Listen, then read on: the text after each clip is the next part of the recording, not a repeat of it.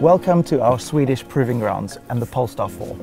Today we're going to look at the digital rearview mirror, a really transformative element of this amazing SUV coupe.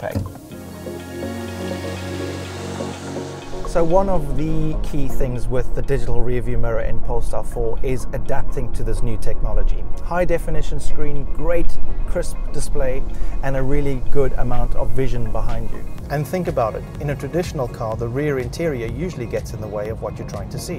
And what I've really noticed is fantastic is when you're in the dark, you're seeing a lot more detail than you usually would. Oh, and uh, I see Joachim's caught up to me. Hey Joachim. Hello, Brent. Welcome to Hällered. The vision behind me is fantastic. Go, go far left. I want to see how far you can push it.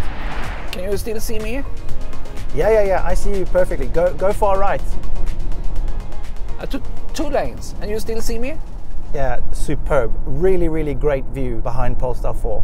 Yeah, Brent, look here. I can also overtake you. Let's go.